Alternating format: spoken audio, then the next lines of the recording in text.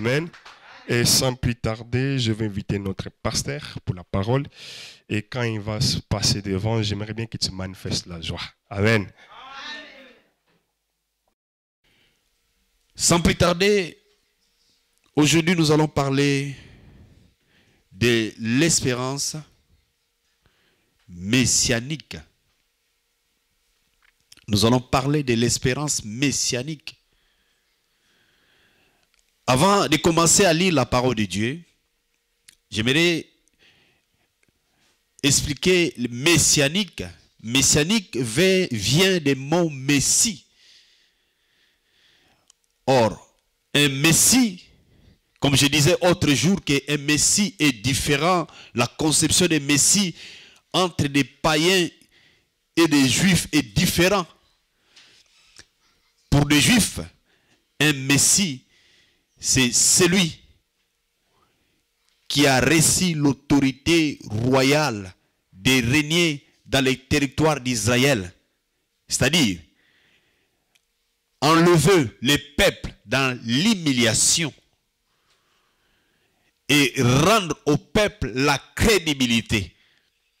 En d'autres termes, je dirais, un Messie, c'est celui qui est oint par Dieu dont Dieu lui a donné une mission royale de régner dans un territoire.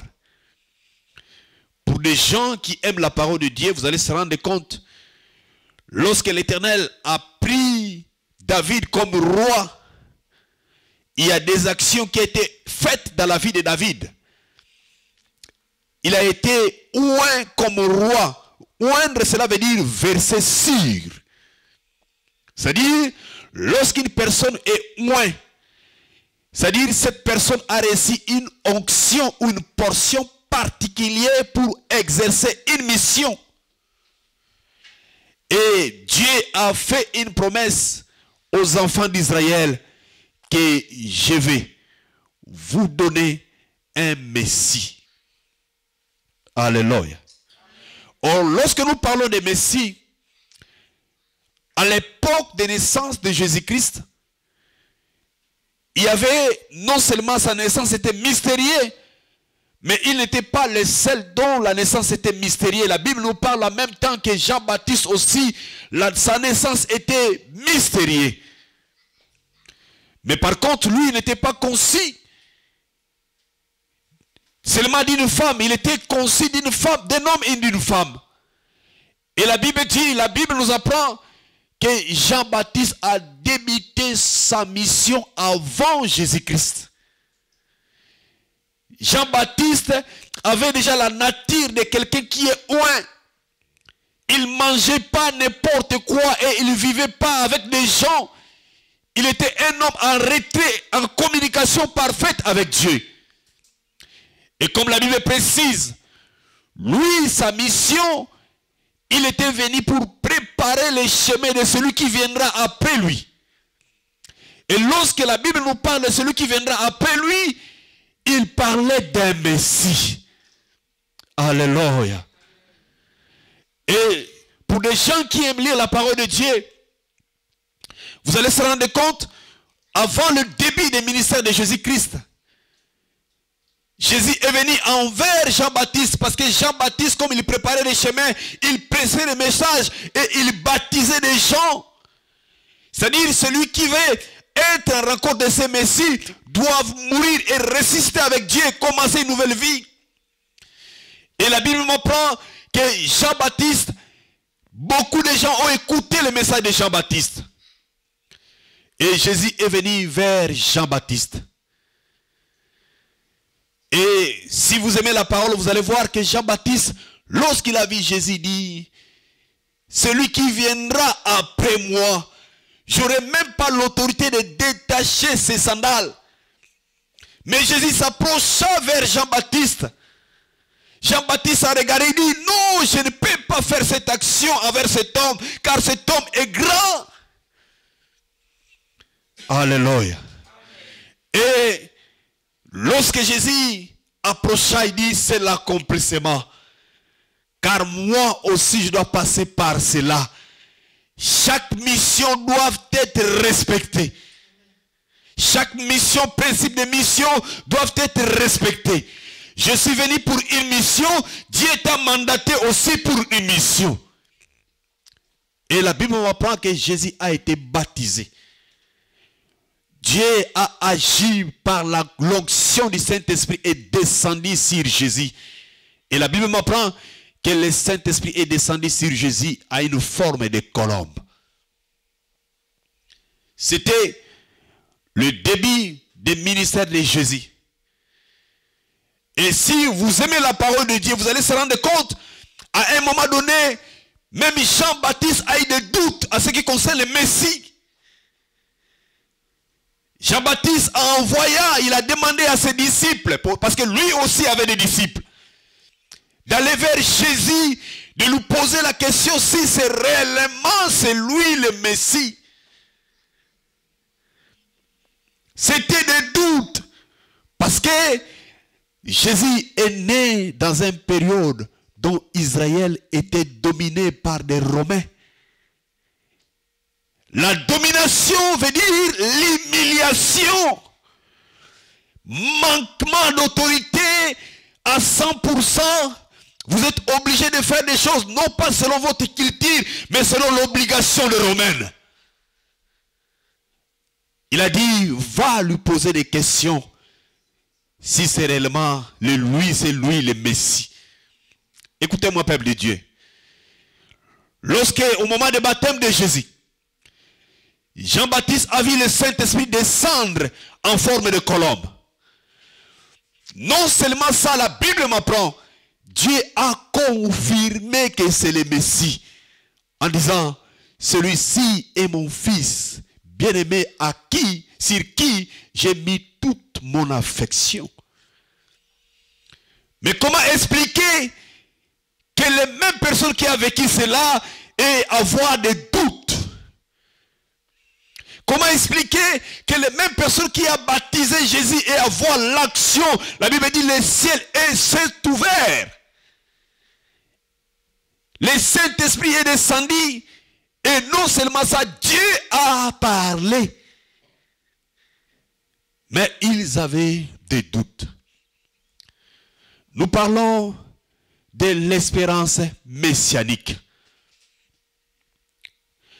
Vous allez se rendre compte, lorsque quelqu'un est appelé, un Messie doit venir et opérer, il est appelé à venir à rendre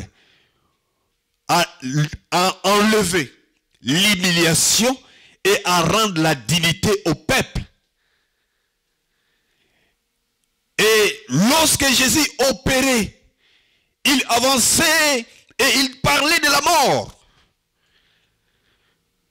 Les gens, le foule qui était tout, autour de Jésus, ils attendaient la mutinerie, l'ordre soit donné. Parce que si vous lisez la parole, la Bible dit, le Messie viendra pour restaurer le royaume de David. Alléluia. Le Messie viendra pour restaurer le royaume de David. Ils attendaient ce Messie pour restaurer ce royaume. Et Jésus parlait de la mort non seulement il parlait de la mort, il parlait aussi de la résurrection. Le plus grave, lorsque nous parlons de l'espérance messianique, effectivement Jésus était mort. C'était un grand problème pour des gens qui espéraient que Messie est là. Mais comment expliquer Messie est mort? Cela veut dire le rétablissement du royaume d'Israël ne pourra plus avoir lieu. Alléluia. Pour mieux comprendre ces messages, revenons maintenant dans la parole de Dieu. Nous sommes dans Marc. Marc chapitre 15, verset 43 et nous allons lire en même temps Marc chapitre 16, verset 3. Je lis la parole de Dieu au nom de Jésus. José d'Arimathée arriva, C'était un membre éminent du conseil qui attendait lui aussi le royaume de Dieu. Il osa se rendre vers Pilate pour demander le corps de Jésus. Alléluia. Ici, vous allez lire le, 3, le 16. J'aimerais quand même expliquer. Ici, la Bible nous parle d'un homme. Joseph d'Arimathée. Lui aussi attendait le royaume d'Israël. Mais il a pris le courage au moment où ce Messie était mort. D'y aller voir Pilate. De lui dire, donnez-nous cet corps. Donnez-moi cet corps. La Bible dit, Joseph d'Arimathée était un homme riche. Il était aussi disciple de Jésus-Christ. Il croyait aussi à la restauration du royaume d'Israël. Il a appris, il a appris aussi que ce roi-là est mort. Mais Joseph s'est dit, j'ai pris l'audace, peu importe les risques, d'aller demander le corps de cet homme. D'aller récupérer ce corps de cet homme. Et la Bible précise, cet royaume d'Israël restauré. Il a compris une chose. Le roi est mort. Mais je crois à cet royaume. J'espère toujours que la promesse messianique qui a été faite n'est pas finie. Je dois aller jusque là-bas récupérer cet corps. Alléluia. Verset 16, 3. Elle se disait entre elles qui nous roulera la pierre qui ferme l'entrée du tom- tombeau. Alléluia. Acclamez pour la parole de Dieu. La Bible dit, quelques jours après l'enterrement, Marie de Magdala et Marie mère de Jésus et autres Marie se leva. Allaient pratiquer le coutume des Juifs.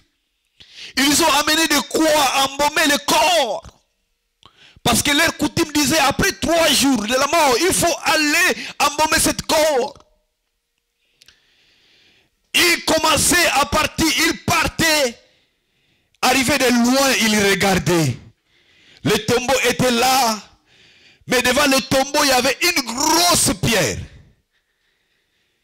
Et ils se regardaient, ils parlaient entre eux.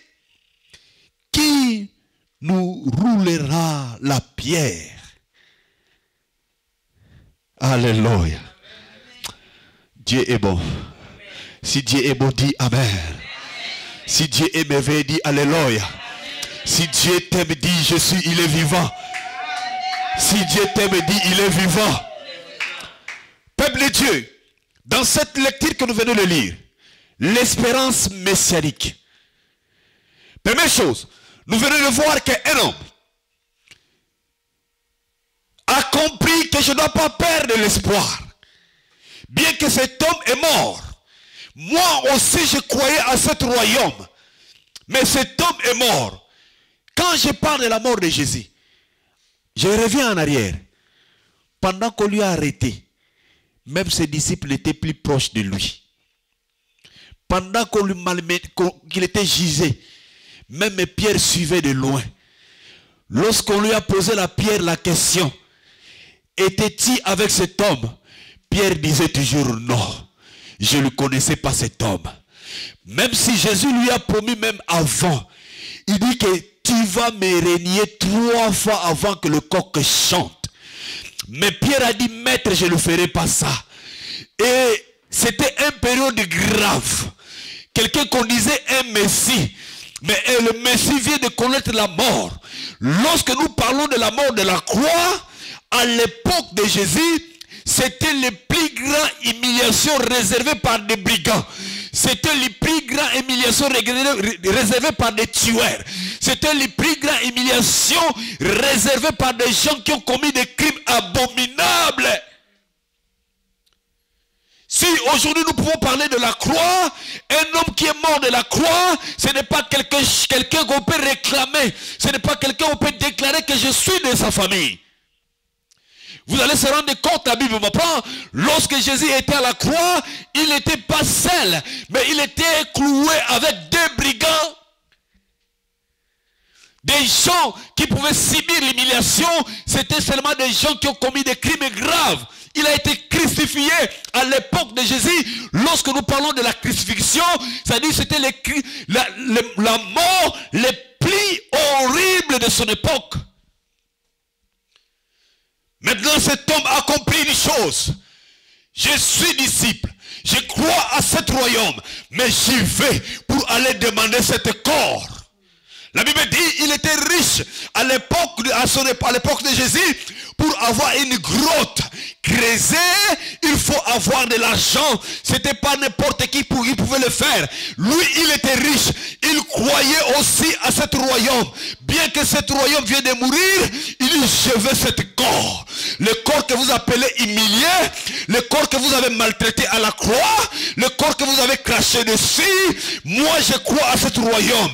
J'ai l'espérance, il est un Messie. L'espérance messianique m'a pas quitté parce que je crois à cette personne. Peuple Dieu, laisse-moi te parler. L'action le plus immédiate pour, pour Dieu peut être la gloire de ta famille des années et des années. L'action que tu fais pour Dieu, que des gens peuvent te citer, peut-être la joie de dire que j'ai fait quelque chose pour mon Dieu. Et des gens parleront toujours de toi. Comme maintenant, je parle de Joseph.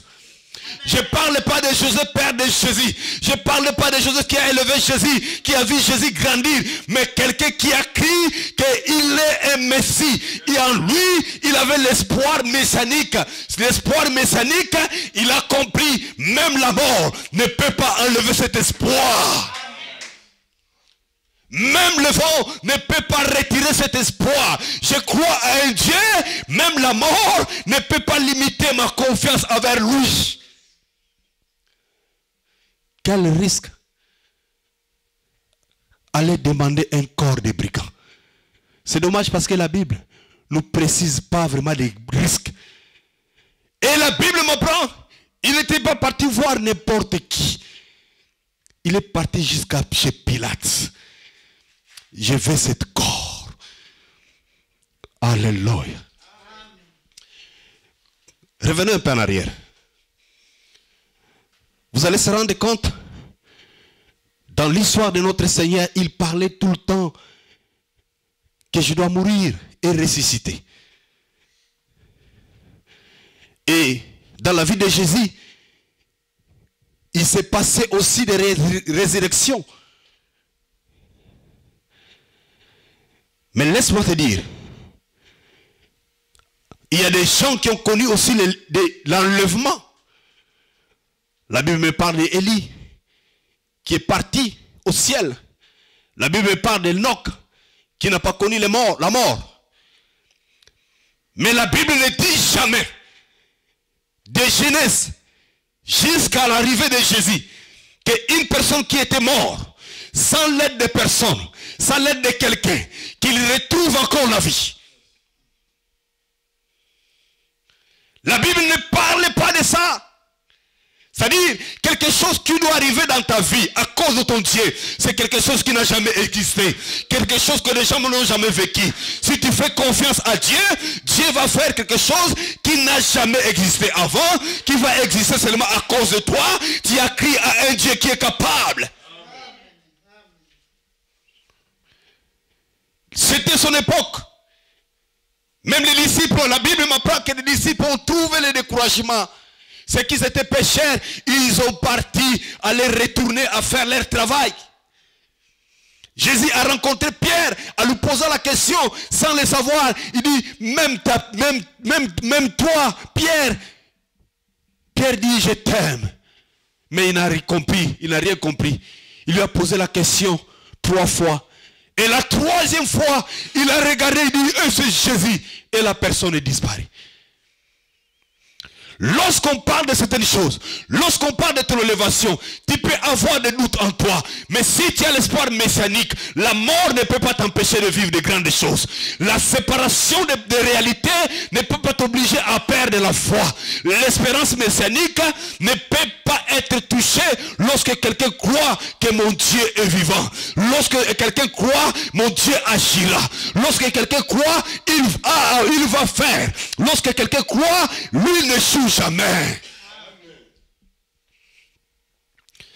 Cet homme a demandé ce corps. Jésus a été enterré. Et même des gens, quand on parle de Ma- Marie, mère de Jésus, quand on parle de Marie de Magdala, ce sont des gens qui étaient très proches de Jésus. Mais il s'est levé ce jour-là en disant, allons. Ils ont pris des croix embaumées. Allons embaumer cette corps. C'est-à-dire, lorsqu'il partait pour embaumer cette corps, un corps embaumé, c'est un momie égyptien qui va rester comme ça des années, des années, mais qui ne compense pas. Je ne pense pas qu'en partant comme ça, il disait, elle disait que il va ressusciter. Non? Leur inquiétude arrivait lorsqu'ils ont avancé. Le premier obstacle qu'ils ont trouvé, il y avait une pierre. Mais nous, on veut embaumer cet homme. Il commençait à poser la question, qui va nous enlever cette grosse pierre?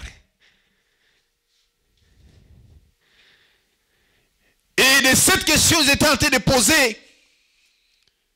Ce qui était bien, ils ne sont pas s'arrêter. Ils n'ont pas pu s'arrêter là. Ils continuent toujours vers cette tombe. Malgré l'obstacle.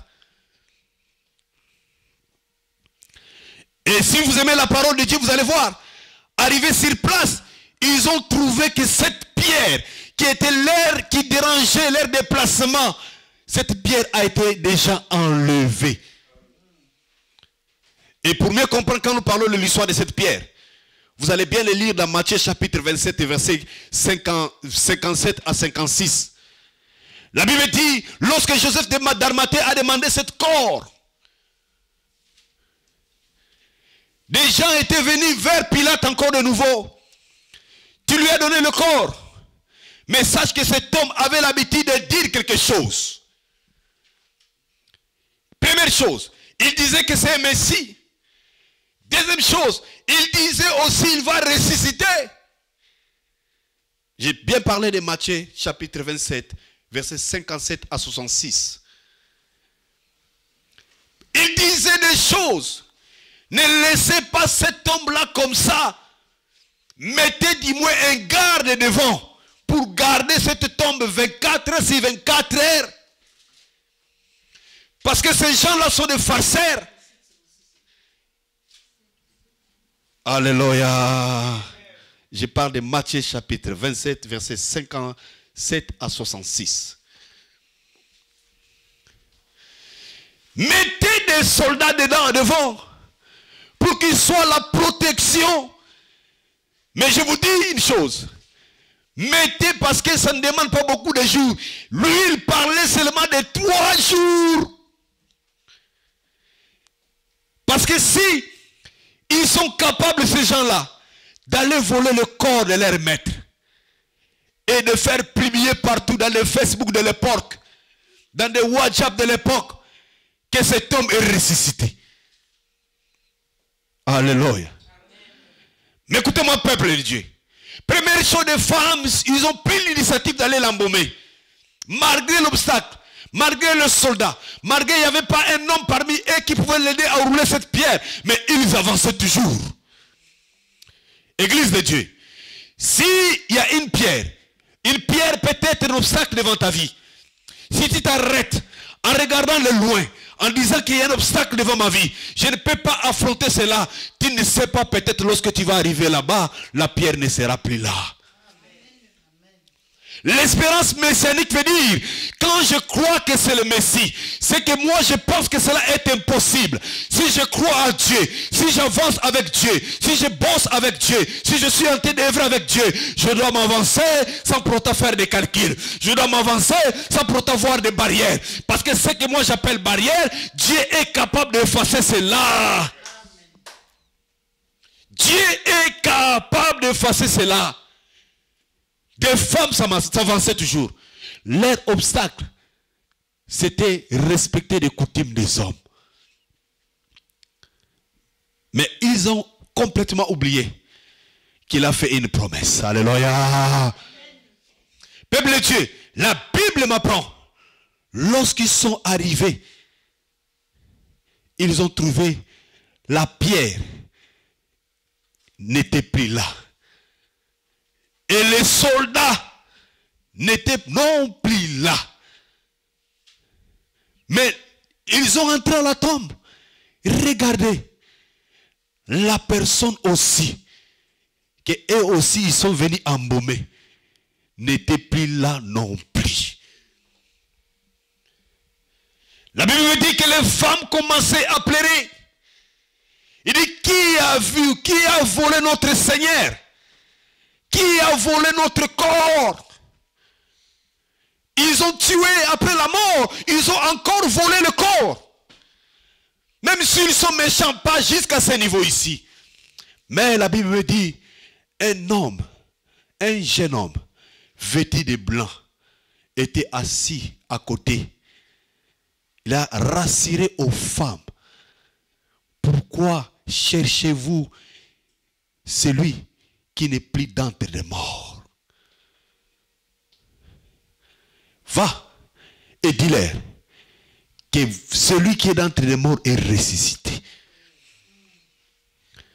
L'espérance messianique veut dire, cet homme, peut-être ne croyait plus à cet royaume de Messie. Mais il y a une chose, étant donné qu'il était disciple, il a pris des risques de dire, je prends cette corps, je le mets quelque part. Je ne sais pas si ça doit marcher. Je ne sais pas s'il va résister comme prévu. Mais une chose je fais, je crois que le Messie cet homme. Je crois que c'est lui qui est venu sauver l'humanité. Je crois que lui, il a fait des choses correctes. Je crois que lui, il a changé ma vie. Je ne dois pas laisser cette corps subir l'humiliation. J'ai une bonne endroit qui était pour moi, qui était fait par ma recherche. Mais je dois prendre cet homme. Je dois le placer dedans. Je dois le mettre dedans.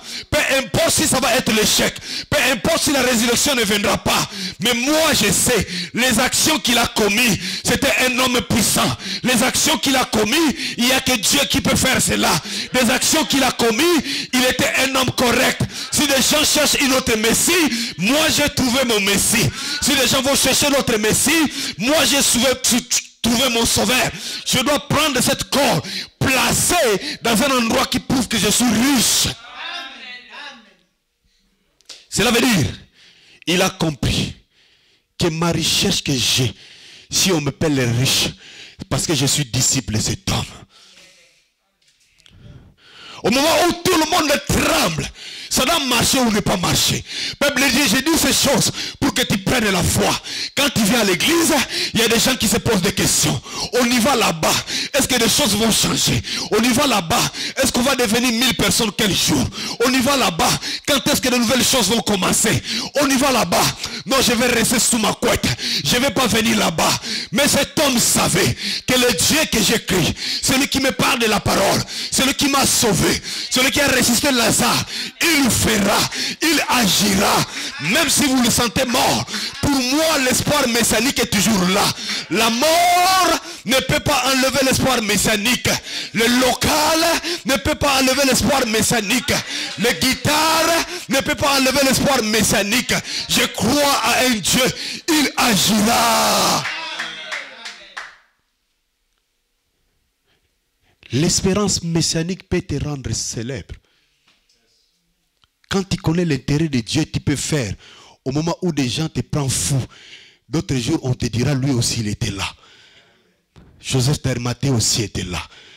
Essaye un peu de se rendre compte. Lorsqu'on nous cite les douze tribus, les douze, les douze disciples de Jésus, on cite même celui qui a vendu Jésus. Son nom n'était pas ici, il n'est pas, n'était pas déclaré. Mais ce nom a créé une tombe qui, n'est- qui est toujours célèbre des années. Même après 2000 ans, son tombe est toujours célèbre. Des gens prennent des visas, cherchent des visas pour aller voir cette tombe vide. Des gens cherchent des visas pour aller voir cette tombe fixe. Je parle à un peuple aujourd'hui. Si tu as l'espoir messianique, quand tu fais quelque chose pour Dieu, ne regarde pas ce que tu vois aujourd'hui. Ne regarde pas la manière dont les gens vont réagir.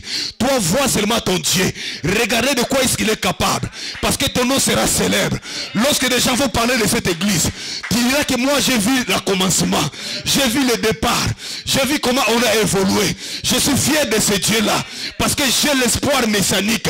Même si les gens disent, c'est pas le Messie. Moi, je sais que c'est le Messie.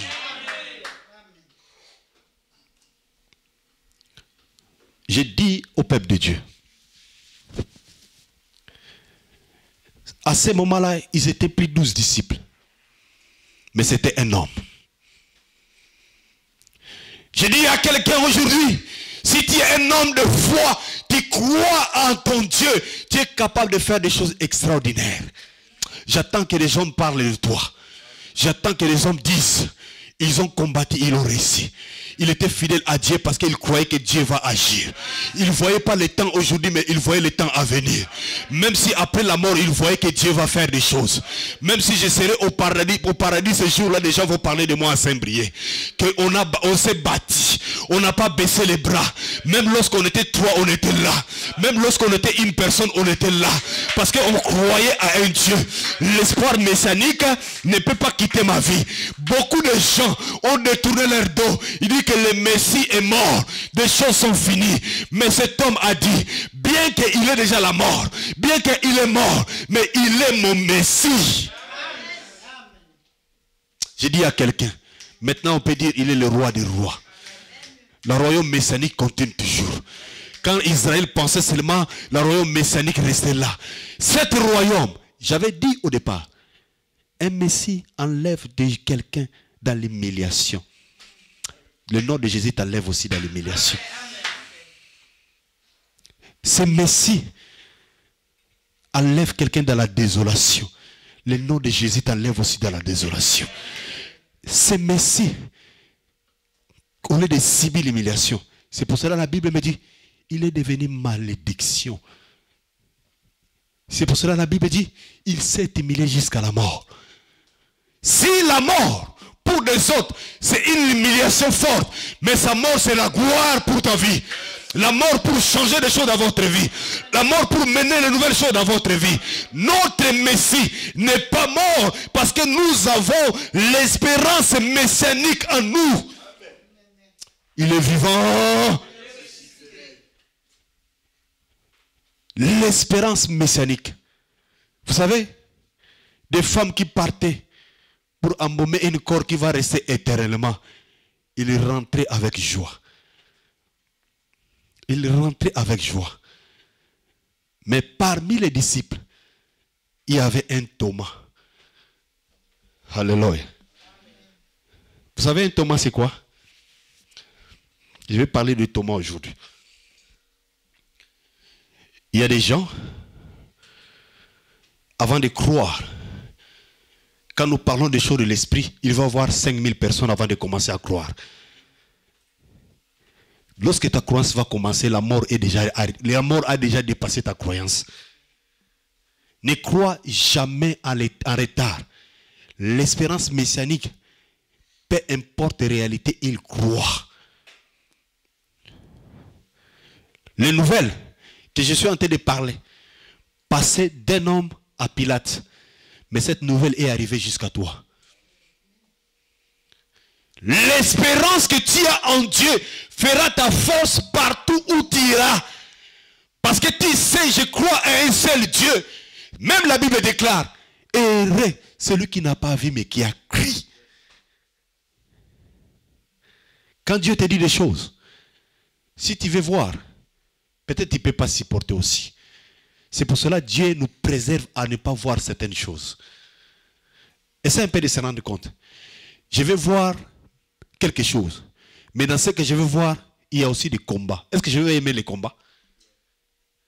J'aurai ce que j'ai besoin. Mais avant d'arriver, d'avoir ce que j'ai besoin, je dois combattre. L'homme n'aime seulement avoir, mais sans pour autant combattre. Mais la Bible dit, lui, il a accepté. C'est-à-dire les pensées messianiques de l'époque et les pensées messianiques de Jésus est différent. Et il voyait le royaume de David. Cela veut dire nous allons être là, nous allons battre nos ennemis, nous allons gagner, avoir la victoire charnelle, nous allons beaucoup à manger. Cet royaume était riche, nous allons être dans la richesse. Mais lui aussi, il nous amène d'une manière spirituelle. C'est-à-dire son royaume nous donne aussi la richesse. Son royaume nous donne aussi la paix. Son royaume nous donne aussi la santé. Son royaume domine aussi toute puissance qui peut te bloquer. Je dis à quelqu'un, jamais tu seras vaincu si tu as l'espérance messianique. Parce que des obstacles qui empêchent ta foi sera plus faible que ton espérance que tu as en Jésus-Christ. Parce que ta force sera Jésus-Christ. Et Thomas disait, je vais seulement croire si je touche les plaies. Que Dieu te bénisse. Tu n'as jamais vu Jésus à la croix. Tu n'as jamais vu Jésus frapper. Mais tu as accepté son nom. C'est ce que Dieu aime.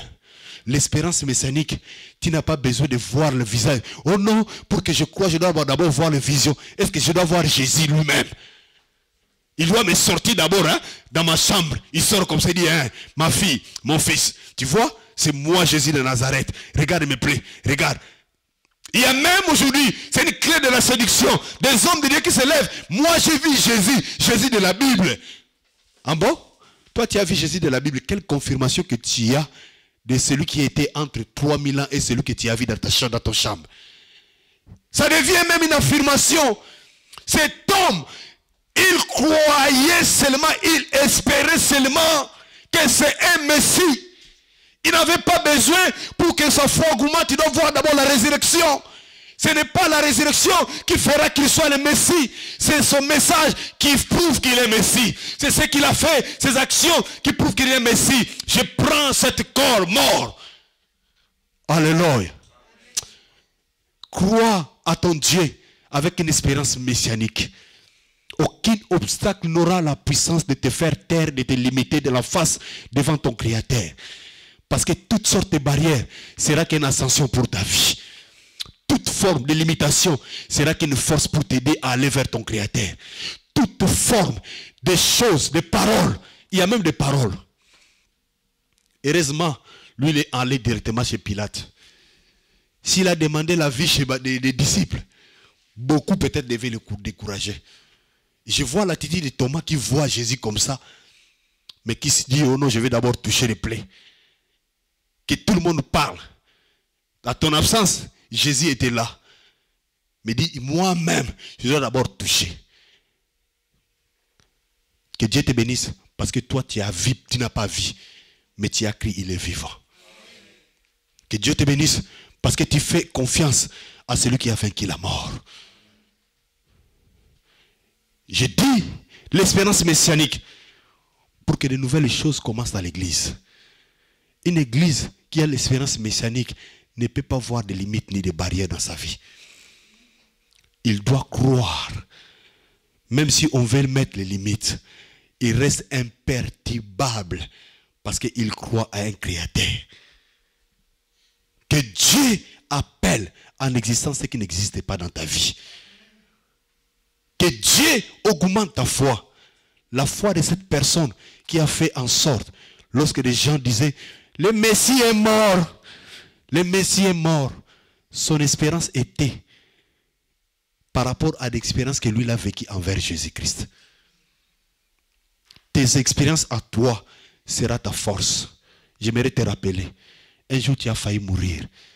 Il a intervenu.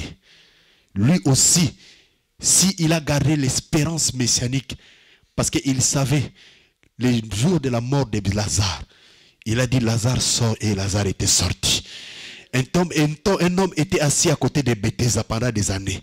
C'est sa parole qui a dit lève-toi et prends ton lit et marche. Il a reconnu cela. Cela aussi sera ta force. Que Dieu te bénira. Nous allons clôturer dans la parole de Dieu dans Psaume.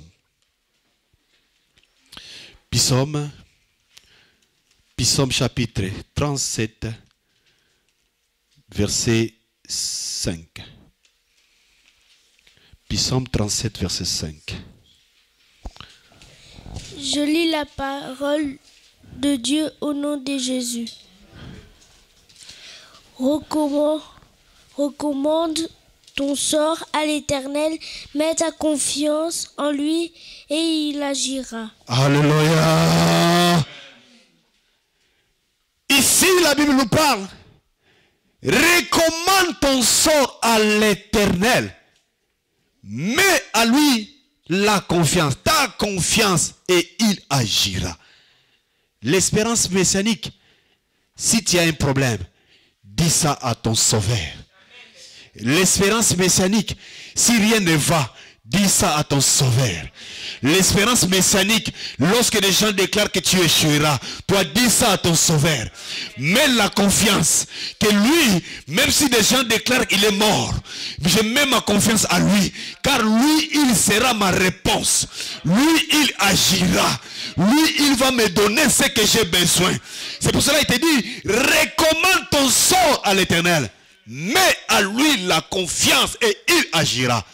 Je dis dans ta vie, si tu as confiance, l'espérance messianique en Dieu, il agira. Peu importe le temps et peu importe les réalités. Et la gloire sera rendue à lui seul. Que Dieu bénisse la parole de Dieu.